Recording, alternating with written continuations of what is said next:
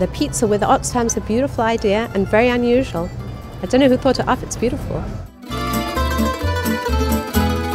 I think it's a unique idea for Pizza Express to work in partnership with Oxfam is, is absolutely wonderful. You can spend £5 in the shop over Christmas, buy and then go and have a, a, a great pizza at Pizza Express.